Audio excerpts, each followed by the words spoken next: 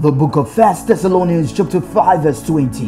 The Bible says, Do not despise prophecies. The power of God is real and ever present in our lives. Since time immemorial, the prophet Nigel Gaisie has given several prophecies through the inspiration of the Holy Spirit for the nations of the world, individuals, businesses, families, and many more. The prophecies you are about to watch are prophecies that were inspired by the power of God for the purpose of edification and the authenticity of God's power at work through the major prophet, Prophet Nigel Gaisie. Here are some of such prophecies. bomb bomb bomb